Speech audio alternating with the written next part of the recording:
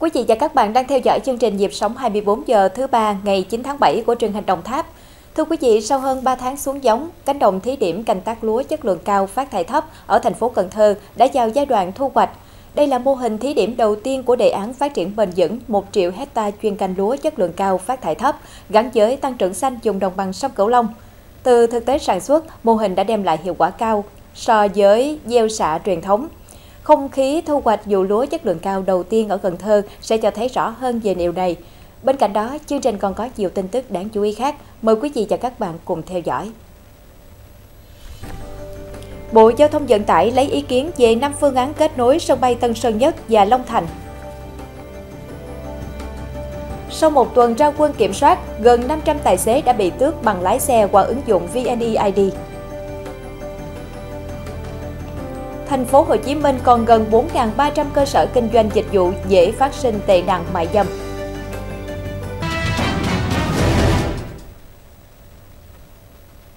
Đề án phát triển bền vững 1 triệu hecta lúa chất lượng cao thực hiện tại 12 tỉnh thành đồng bằng sông Cửu Long. Trước khi triển khai rộng rãi, Bộ Nông nghiệp và Phát triển Nông thôn thực hiện cánh đồng thí điểm ở 5 địa phương gồm Cần Thơ, Trà Vinh, Sóc Trăng, Kiên Giang và Đồng Tháp. Trong đó, Cần Thơ là địa phương thực hiện đầu tiên tại vụ hè thu năm nay với diện tích 50 hecta tại Hợp tác xã Tiến Thuận, xã Thạnh An, huyện Vĩnh Thạnh. Kết quả cho thấy trồng lúa chất lượng cao cho năng suất hơn 0,4 đến 0,5 tấn so với canh tác bình thường, giúp tăng lợi nhuận từ 1 triệu 300 ngàn đồng đến 6 triệu 200 ngàn đồng mỗi hecta. Từ 50 hecta diện tích thí điểm tham gia đề án 1 triệu hecta lúa chất lượng cao với quy trình canh tác lúa bền vững, các bên liên quan đã đưa ra các đánh giá hiệu quả về vụ lúa đầu tiên. Theo đó, việc áp dụng xạ hàng giúp cây lúa cứng cáp, ít bị sâu bệnh, giảm chi phí phân bón, thuốc trừ sâu, năng suất lúa tăng so với quy trình canh tác truyền thống. Nhờ đó, ngoài góp phần giảm khoảng từ 2 đến 6 tấn CO2 trên 1 hecta canh tác lúa, trồng lúa chất lượng cao còn tăng lợi nhuận cho nông dân thì trừ hết tất cả các chi phí thì lợi nhuận ròng là à, của ruộng mô hình tăng lên khoảng 1,3 cho tới 6 triệu đồng cho một hecta so với ruộng của nông dân ngoài mô hình. Đề án phát triển bền vững 1 triệu hecta lúa chất lượng cao và phát thải thấp được Thủ tướng phê duyệt cuối năm 2023. Đến năm 2025, 12 tỉnh thành ở đồng bằng sông Cửu Long sẽ trồng 180.000 hecta lúa phát thải thấp và thí điểm cấp tính chỉ carbon cho dùng đạt chuẩn. Năm 2030, dùng mở rộng thêm 820.000 hecta lúa phát thải carbon thấp. Sự thành công của mô hình là cơ sở để ngành nông nghiệp thành phố Cần Thơ nói riêng và các tỉnh tham gia đề án đánh giá, rút kinh nghiệm, tiếp tục nhân rộng mô hình. Bộ Giao thông Vận tải đang lấy ý kiến về 5 phương án kết nối giao thông giữa sân bay Tân Sơn Nhất thành phố Hồ Chí Minh và sân bay Long Thành tỉnh Đồng Nai, gồm hai phương án đường bộ và ba hướng tuyến đường sắt. Đây là nghiên cứu bước đầu về phương án kết nối hai cảng hàng không lớn nhất nước do Diện Chiến lược và Phát triển Giao thông Vận tải thực hiện. Các phương án đường bộ có chiều dài từ 43 đến 62 km, ưu tiên tuyến xe buýt kết nối trực tiếp và các loại hình khác như taxi, xe cá nhân. Các phương án đường sắt có chiều dài từ 42 đến 45 km, kết nối với tuyến đường sắt Thủ Thiêm Long Thành. Lộ trình đầu tư các tuyến đường được chia thành 4 giai đoạn từ năm 2025 đến năm 2050. Viện Chiến lược và Phát triển Giao thông Vận tải đề xuất việc kết nối giữa hai sân bay bằng đường sắt cần tổ chức chạy tàu, bảo đảm thuận tiện cho hành khách không phải chuyển tuyến và rút ngắn thời gian. Điều kiện kỹ thuật của các tuyến đường sắt phải được thiết kế và khai thác, bảo đảm kết nối cho các đoàn tàu khác dùng chung hạ tầng. Cảng hàng không quốc tế Tân Sơn Nhất hiện nay có diện tích 545 hecta với hai nhà ga hành khách. Tổng công ty Cảng hàng không Việt Nam đang đầu tư xây dựng nhà ga T3 dự kiến quý 3 năm nay sẽ đưa vào khai thác. Cảng hàng không quốc tế Long Thành đang được triển khai giai đoạn 1 với công suất đến năm 2030 đạt 25 triệu hành khách một năm. Hiện trên công trường dự án có gần 4.000 kỹ sư công nhân trong nước và quốc tế với hơn 2.000 máy móc thi công. Các gói thầu được đẩy nhanh tiến độ, dự kiến đưa sân bay vào khai thác cuối năm 2025.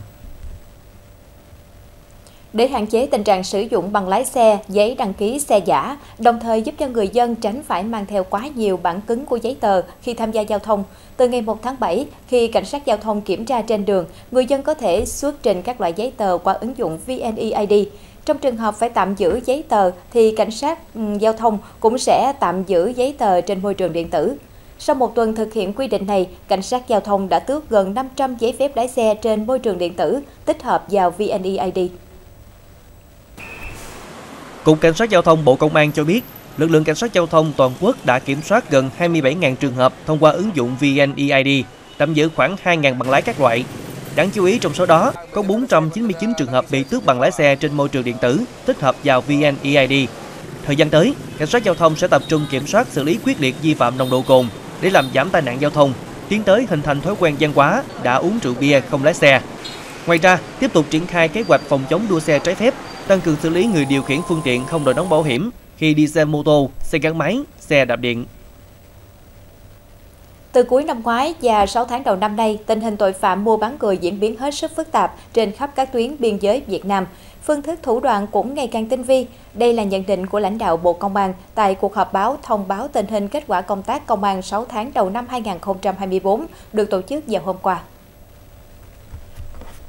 Cụ thể, trong 6 tháng đầu năm 2024, trên cả nước đã xảy ra 39 vụ án liên quan đến hành vi mua bán người, tăng 18,2% so với cùng kỳ năm 2023. Trong đó, lực lượng công an đã khởi tố 35 vụ với 104 đối tượng. Để dụ dỗ nạn nhân, phương thức thủ đoạn của các đối tượng cũng có những chuyển biến rất lớn và ngày càng tinh vi với nhiều chiêu bài diệt nhẹ lương cao để lừa bán ra nước ngoài làm việc trong các nhóm lừa đảo tại Campuchia, khu vực Tam Giác Vàng, lừa bán làm vợ bất hợp pháp tại Trung Quốc, Hàn Quốc hoặc làm gái mại dâm tại các nước Trung Đông như Qatar, các tiểu vương quốc Ả Rập Thống Nhất và các nước Đông Nam Á như Malaysia, Singapore, Myanmar. Ngoài ra, còn có một phương thức mới xuất hiện là giả nhận làm con nuôi để đưa nạn nhân ra nước ngoài.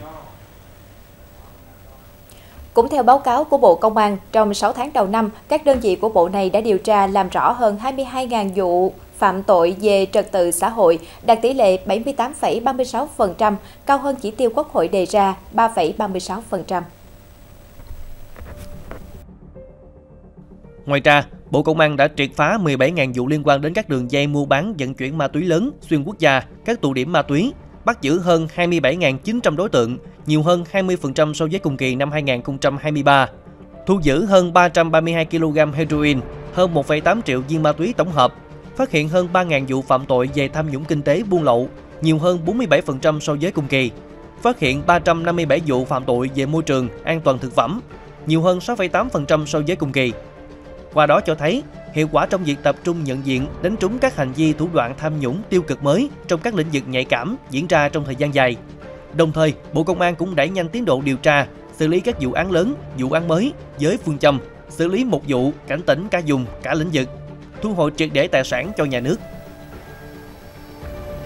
Từ cuối năm ngoái đến nay, tình hình cháy nổ tại Hà Nội diễn biến phức tạp, nhiều vụ cháy gây thiệt hại lớn về người và của. Trung tướng Nguyễn Hải Trung, Giám đốc Công an thành phố Hà Nội cho biết, từ đầu năm đến nay, qua rà soát các loại hình nhà ở, cơ sở kinh doanh trên địa bàn thành phố, lực lượng công an đã phát hiện xử lý nhiều trường hợp vi phạm về phòng cháy chữa cháy.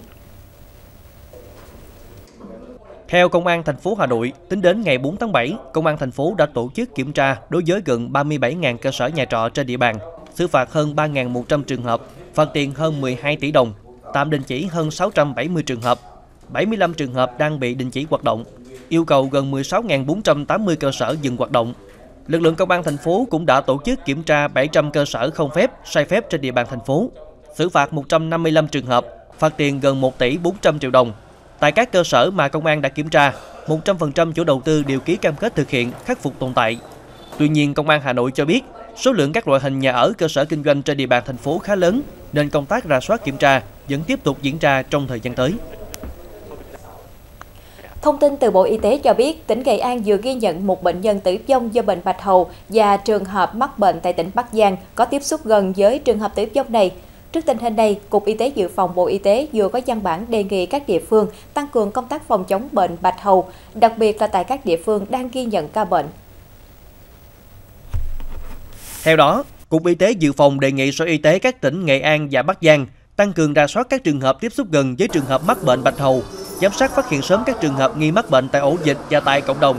đồng thời lấy mẫu xét nghiệm xác định kịp thời trường hợp mắc bệnh, triển khai các biện pháp xử lý triệt để ổ dịch tổ chức điều tra và điều trị kháng sinh dự phòng cho tất cả các trường hợp tiếp xúc gần theo hướng dẫn,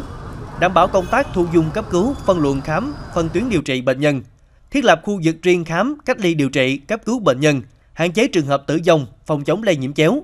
Bên cạnh đó, thống kê người chưa tiêm hoặc tiêm chưa đầy đủ vaccine phòng bệnh bạch hầu và tổ chức tiêm bổ sung, tiêm phép, thông báo kịp thời cho các cơ sở y tế khi phát hiện trường hợp nghi ngờ mắc bệnh, không để bùng phát ổ dịch. Hiện nay, điều kiện thời tiết nắng nóng, mưa nhiều thuận lợi cho sự phát triển của mũi và bọ gậy truyền bệnh. Đây là một trong những nguyên nhân khiến cho số ca mắc sốt xuất huyết tại Hà Nội tăng tuần thứ 6 liên tiếp. Ngoài ra, bệnh ho gà, viêm não Nhật Bản cũng tăng so với cùng kỳ năm 2023.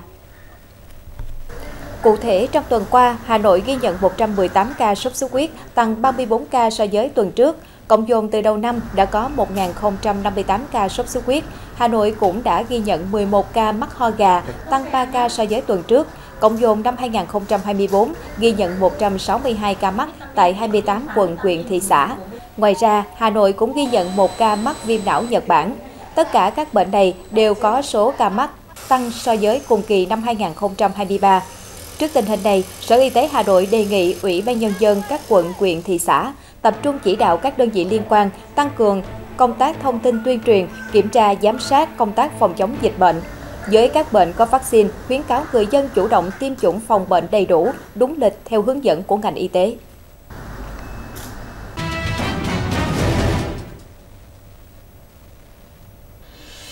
Đáng chú ý trong phần tiếp theo, thành phố Hồ Chí Minh còn gần 4.300 cơ sở kinh doanh dịch vụ dễ phát sinh tệ nạn mại dâm. Kẻ sát hại hai mẹ con ở Hải Dương bị bắt ở thành phố Hồ Chí Minh sau nửa tháng lẩn trốn. Thời gian qua, một số đường dây mại dâm gái gọi hạng sang giá ngàn đô la Mỹ với mát diễn viên người mẫu liên tục bị triệt xóa. Bên cạnh đó, hoạt động mại dâm nam, mại dâm trong nhóm đồng tính nam, mại dâm có yếu tố nước ngoài và xuất cảnh ra nước ngoài bán dâm cũng ngày càng gia tăng. Tại thành phố Hồ Chí Minh, thống kê trên địa bàn có gần 4.300 cơ sở kinh doanh dịch vụ dễ phát sinh tệ nạn mại dâm. Theo báo cáo kết quả công tác phòng chống mại dâm 6 tháng đầu năm và phương hướng nhiệm vụ 6 tháng cuối năm 2024 trên địa bàn thành phố, Ủy ban nhân dân thành phố Hồ Chí Minh cho biết, hiện nay trên địa bàn thành phố có gần 4.300 cơ sở kinh doanh dịch vụ dễ phát sinh tệ nạn mại dâm với trên 17.800 nhân viên làm việc. Tệ nạn này tập trung tại các loại hình cơ sở lưu trú, nhà hàng karaoke và cơ sở massage, vũ trường, bar, công ty giải trí biến tướng thành bar. Trong đó, 657 cơ sở có nghi vấn hoạt động mại dâm và 883 cơ sở có nghi vấn hoạt động khiêu dâm kích dục. Cũng theo ngành chức năng, ngoài hoạt động mại dâm theo hình thức đứng đường hoặc dùng xe gắn máy chạy theo chèo kéo khách mua dâm, hiện nay tình hình mại dâm trên mạng sử dụng ứng dụng công nghệ thông tin, các trang mạng xã hội, diễn đàn, nhóm kín có xu hướng gia tăng. Do đó, Ủy ban nhân dân thành phố Hồ Chí Minh cho biết trong thời gian tới sẽ tiếp tục tuyên truyền phòng chống tệ nạn mại dâm cho người lao động tại các cơ sở kinh doanh dịch vụ dễ phát sinh tệ nạn mại dâm, người lao động trong các khu công nghiệp, khu chế xuất, đồng thời kiến nghị sửa đổi bổ sung hoàn thiện pháp lệnh và các văn bản quy phạm pháp luật đảm bảo thống nhất, phù hợp với tình hình hiện nay. Thưa quý vị và các bạn, đây là đối tượng Dương Đình Luyện, 39 tuổi, trú tại thành phố Chí Linh, tỉnh Hải Dương, là nghi phạm sát hại giả mang hai người phụ nữ tại phường Giang An, thành phố Chí Linh vào ngày 23 tháng 6. Sau nửa tháng lẫn trốn, nghi phạm đã bị lực lượng chức năng bắt giữ vào trưa hôm qua khi đang lẫn trốn tại một công viên ở thành phố Hồ Chí Minh. Qua điều tra, cơ quan công an làm rõ, năm 2015, Luyện quen biết và sống như vợ chồng với một phụ nữ 31 tuổi ở phường dân An, thành phố Chí Linh và có một con chung. Sau đó hai người này chia tay. Đến khoảng năm 2021, Luyện quen biết và kết hôn với người phụ nữ khác 30 tuổi ở phường dân Đức, thành phố Chí Linh và có một con nhỏ. Khoảng 13 giờ 50 phút ngày 23 tháng 6, Luyện đi ô tô bán tải đến nhà của mẹ con vợ cũ Lúc này ngoài vợ cũ của Luyện còn có mẹ ruột của chị này 60 tuổi tại nhà. Tại đây, Luyện đã dùng hung khí đâm nhiều nhát vào người hai mẹ con nạn nhân, khiến cả hai tử vong. Gây án xong, Luyện lái ô tô bỏ trốn và bỏ xe lại tại khu ruộng thuộc dân cư Miễu Sơn, phường Thái Học, thành phố Chí Linh. Cuối tuần qua, Công an thành phố Chí Linh thông báo treo thưởng 500 triệu đồng cho người dân cung cấp thông tin có giá trị phục vụ công tác truy tìm, truy bắt được đối tượng Luyện. Hai ngày qua, trên địa bàn tỉnh Hà Giang xuất hiện mưa lớn kéo dài gây lũ ống, lũ quét, sạt lở đất tại nhiều địa phương. Theo báo cáo nhanh của Văn phòng Thường trực Ban Chỉ huy Phòng chống thiên tai và tìm kiếm cứu nạn tỉnh Hà Giang, mưa lũ đã làm cho hai người thiệt mạng, một trẻ em bị thương. Thiệt hại ban đầu ước tính gần 15 tỷ đồng. Theo thông tin ban đầu, khoảng 15 giờ 20 phút chiều 8 tháng 7, trên đường tỉnh 177 từ huyện Bắc Quang đi huyện Hoàng Su Phì, đoạn qua xã Nậm Ti, huyện Hoàng Su Phì, Mưa lớn trong nhiều giờ đã bất ngờ gây sạt lở hàng trăm mét khối đất đá, vùi lấp hai người đi đường. Tuy nhiên một người may mắn thoát nạn, còn một người tử vong. Ngay sau khi nhận được thông tin, lực lượng chức năng cùng với người dân địa phương đã đào bới và tìm được thi thể nạn nhân. Trước đó, một cháu bé 13 tuổi dân tộc Tây, trú tại xã Tạ Sự Chống, huyện Hoàng Su Phi, cũng đã tử vong do sạt lở đất đá làm sập nhà. Mưa lớn trong nhiều giờ cũng đã khiến 58 ngôi nhà ở các huyện Hoàng Su Phi, Xín Mần và Vị Xuyên bị ảnh hưởng nghiêm trọng. Đồng thời, hàng chục hecta lúa bị ảnh hưởng và nhiều diện tích ruộng bị ngập úng, hàng trăm con gia súc gia cầm bị thiệt hại. Đặc biệt, nhiều tuyến đường từ trung tâm huyện lỵ đi các xã ở huyện Hoàng Su Phi bị sạt lở nghiêm trọng, khiến giao thông bị tắc cục bộ. Ủy ban nhân dân tỉnh Hà Giang đã chỉ đạo các địa phương quy động lực lượng hỗ trợ người dân khắc phục hậu quả, di dời các hộ dân trong vùng có nguy cơ sạt lở đến nơi an toàn. Sau khi quét qua dùng nước ấm của vịnh Mexico, tối qua theo giờ Việt Nam, bão Berin đã tràn vào gần thị trấn Matagorda thuộc bang Texas của Mỹ, kéo theo sóng mạnh nguy hiểm và gió cực lớn tại các khu vực ven biển. Để ứng phó với bão, các cảng dầu lớn, các trường học phải đóng cửa, hơn 1.300 chuyến bay bị hủy, hơn 300.000 hộ gia đình và doanh nghiệp tại Texas bị mất điện. Theo Trung tâm Bão Quốc gia Mỹ, bão tràn qua các khu vực phía đông của bang này trong cả ngày 8 tháng 7 theo giờ địa phương, với sức gió lên tới 130 km một giờ trước khi di chuyển lần lượt tới thung lũng hạ Mississippi và thung lũng Ohio. Dự báo Berin sẽ suy yếu thành bão nhiệt đới, sau đó tiếp tục suy yếu thành áp thấp nhiệt đới trong ngày 9 tháng 7